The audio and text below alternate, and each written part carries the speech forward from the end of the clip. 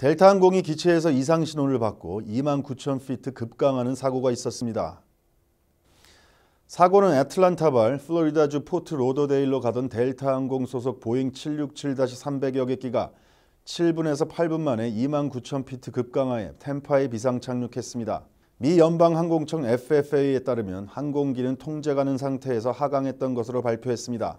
FlightAware.com에 따르면 비행기는 오후 4시 34분경 3만 9천 피트에서 오후 4시 42분 9,975피트로 하강한 것을 보여주고 있습니다.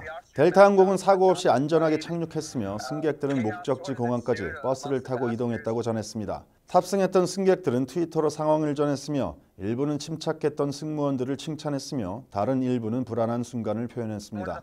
한편 사고의 원인이 무엇이었는지는 아직 조사 중인 것으로 알려졌습니다.